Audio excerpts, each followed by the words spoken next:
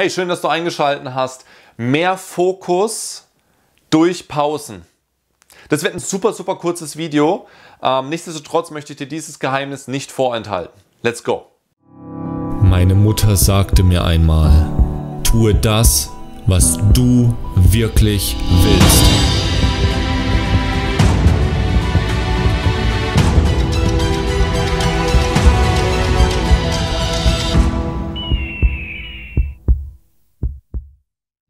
Hey, ja, viele Menschen haben ja äh, Fokusprobleme. Das heißt, sie lassen sich die ganze Zeit ablenken von rechts, von links, von oben, von unten, vom Telefon, von WhatsApp, von Instagram, von was auch immer und können sich nicht auf diese eine Sache fokussieren.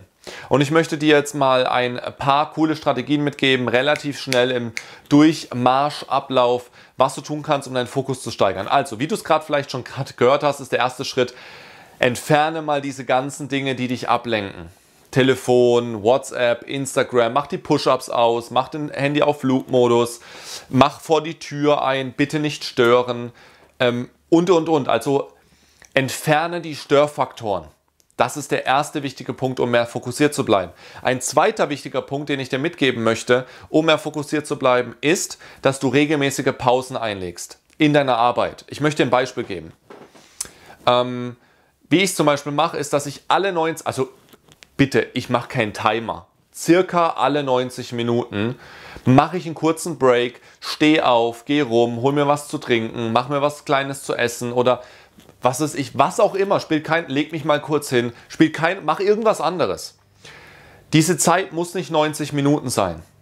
Das kann auch 20 Minuten sein, das können 30, 40, 50, 60 Minuten sein.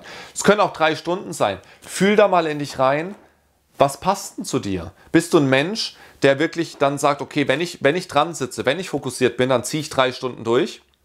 Ohne Pause, ohne Wenn und Aber, da bin ich super produktiv.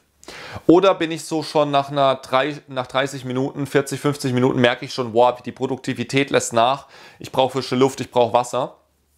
Dann empfehle ich dir da die Pause zu machen. Also du entscheidest, wo du die Pause machst. Aber eine Pause würde ich dir auf alle Fälle empfehlen, weil wenn du eine Pause machst von ein paar Minuten, dann wird es so sein, wenn du dich wieder hinsetzt, bist du frisch.